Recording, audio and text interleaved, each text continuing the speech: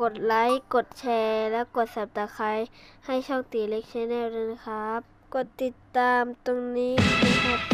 Wow. และกดกระดิ่ง เพื่อเป็นกำลังใจให้ช่องตีเล็ก channel ด้วยนะครับ Where the freaks at?